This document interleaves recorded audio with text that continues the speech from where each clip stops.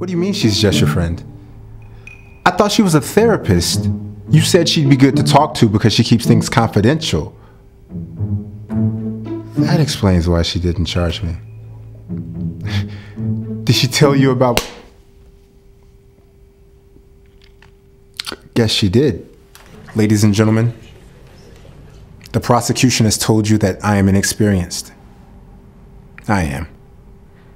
That's the truth. The prosecution has put on an entertaining show. That is also the truth.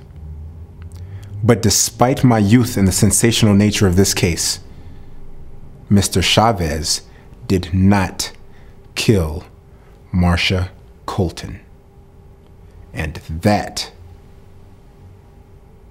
is the truth. Mama, remember when I was little, you'd come into my room? I'd always pretend to be asleep. I could barely see you, but you would just stand there and watch. Just watch me sleep. It made me feel safe, and protected.